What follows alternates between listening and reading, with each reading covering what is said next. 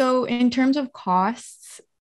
so it is a one year commitment, um, but also having a master's degree opens up additional earning potentials.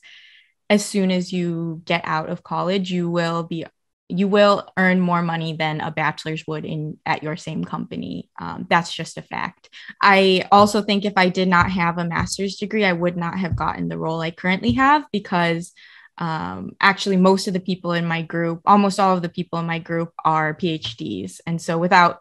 a master's, I would not have been able to get into the group that I currently am in.